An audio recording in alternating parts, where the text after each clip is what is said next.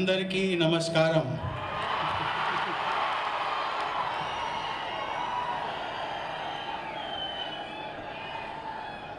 Governor of Andhra Pradesh Sri E.S.L. Narasimhan ji, Chief Minister of Andhra Pradesh Sri N. Chandrababu Naidu ji, Minister for Industries, Food Processing, Agri-Business, Commerce and Public Enterprises, Government of Andhra Pradesh Sri N. Amarnath Reddy ji, other dignitaries on the dais, distinguished guests and friends.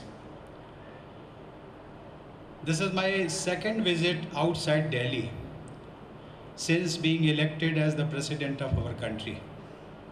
My first visit had taken me to our valiant soldiers in Leh, Jammu and Kashmir.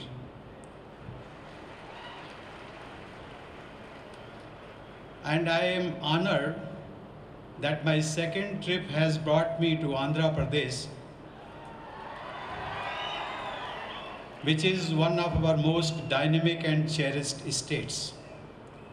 I am doubly blessed at the opportunity of coming to the sacred soil of Tirupati and getting a darshan of Lord Balaji. The people and history of Andhra Pradesh are a pride for every Indian. This is a land of great heroes and great achievements. From the Satvahana Empire of ancient times to the leadership of people like T. Prakasam, whom we remember with reverence as Andhra Kesari, this region has given the country so much. In recent times, Andhra Pradesh has been fortunate to have given birth to at least two far-sighted political leaders, the late Chief Minister Sri N.T. Ramarao and our former Prime Minister Sri P.V. Narasimha Rao. This region has produced three presidents of India in the past, namely late Dr. S. Radhakrishnan, late Sri V.V. Giri, and late Sri Neelam Sanjeeva Reddy.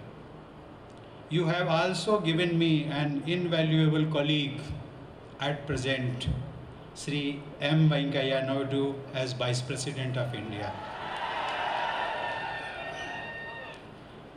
Three years ago, Andhra Pradesh made a new beginning under the capable leadership of Sri Chandrababu Naidu. It is making rapid progress in many fields. The union government fully supports efforts for the welfare and uplift of the people of Andhra Pradesh. I had recently visited Vijayawada and was very impressed by its development. I am looking forward to one day visiting the new capital of Amaravati, which is being built as a city with 21st century technology. In so many areas of human endeavor, the people of Andhra Pradesh are role models for the country. Farmers from this region have contributed substantially to our rice production, among other crops. In adoption of technology for social development programs, Andhra Pradesh has shown the way to the rest of India. Andhra IT and infrastructure companies are famous nationally as well as internationally. All over the world, Telugu people are shining success stories. In the United States, the dedication and accomplishments and doctors from Andhra Pradesh have won widespread recognition. This makes all of us proud. Friends, Andhra Pradesh social and economic achievements in the past few years mirror the transformation of India. Yet, as we march forward, we must ensure that this is a journey for all and not just a journey for some. I am happy that the government of Sri Chandrababu Naidu is taking all measures for the welfare of the poorer and marginalized sections of society. This is a vision that is in keeping with what the father of our constitution, Baba Sahib Bhimrao Ambedkar taught us. He emphasized the values of education, whether formal or vocational, of inclusive growth and development, and that of human dignity. Access to all of these must reach the last house in the village. And I believe the government of Andhra Pradesh and the government of India are jointly striving in this direction.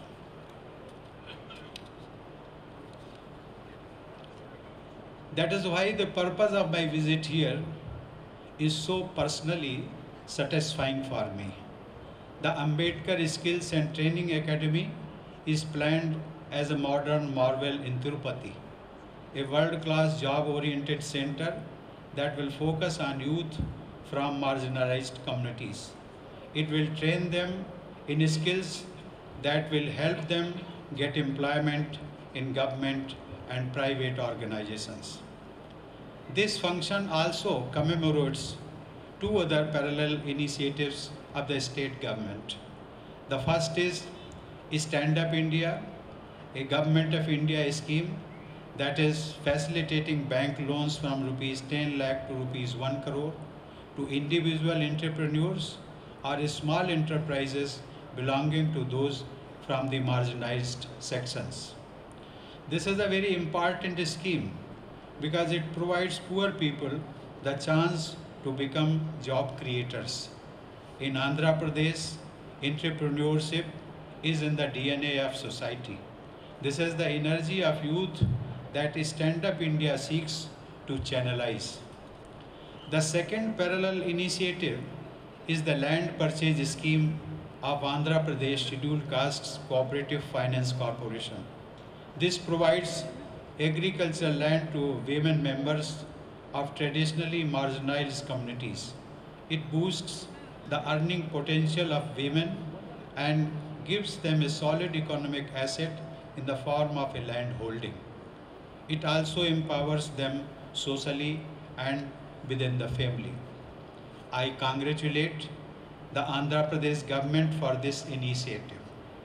This scheme will not just change the life of an individual woman, but that of an entire family.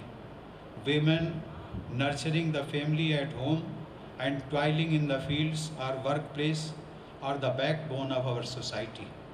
Economic empowerment of women will bring about social change.